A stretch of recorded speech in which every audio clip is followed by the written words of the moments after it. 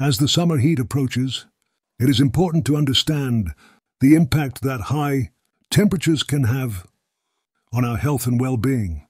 The scorching sun and rising temperatures are not just a matter of discomfort, but they can also pose serious risks to our bodies and overall health. During this time, the Earth is experiencing a natural phenomenon known as a solar storm. With the sun at its center, the temperature is expected to remain high from the end of May to June 2024, reaching over 50 degrees. In many parts of India, this intense heat not only affects the water, land, and every living being on Earth, but also has a direct adverse effect on our collective health. As humans, we have a natural ability to regulate our body temperature through a mechanism called homeostasis. This mechanism helps us maintain a safe internal temperature even in the face of extreme heat. Our bodies can tolerate temperatures up to 37 degrees Celsius, but when the mercury rises to 43 to 50 degrees Celsius, it starts to have a vital effect on our brain cells. The extreme temperature affects our brain.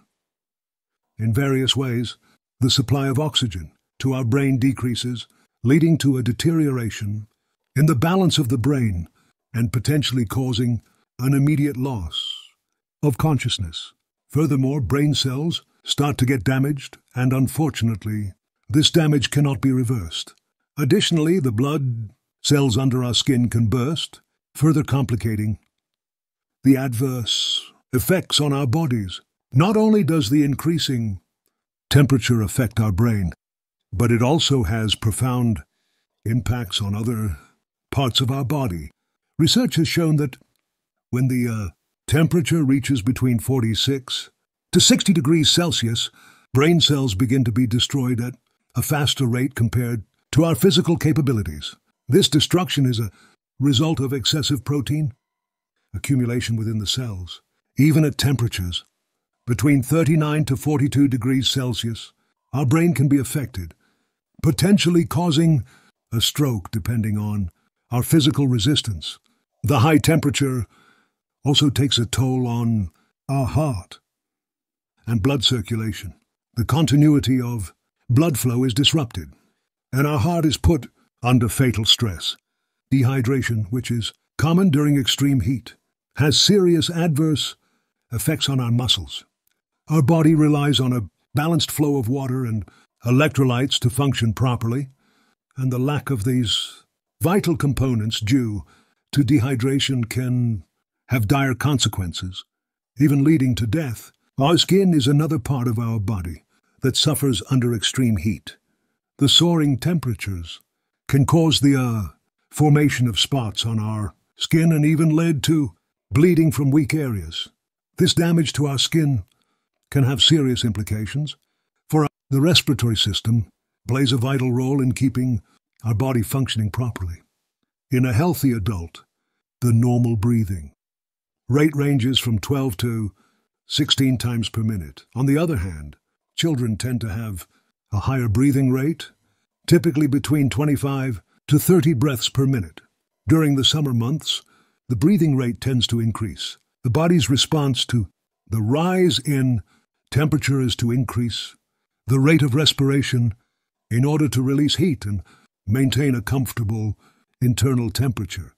This increase in respiratory rate helps the body cool down and regulate its internal environment better. However, when the temperature exceeds 40 degrees centigrade, the respiratory process becomes even faster. The body is exposed to extreme heat, which puts a strain on the respiratory system. The excessive heat can lead to discomfort and make it harder for the body to regulate its temperature through respiration alone. Unfortunately, the increase in the frequency of breathing negatively affects the normal respiratory process. The body's natural rhythm and balance can be disrupted, making it harder for oxygen to be efficiently delivered to the cells and for carbon dioxide to be properly eliminated from the body. This can lead to fatigue, shortness of breath, and overall discomfort. It is important to take extra precautions.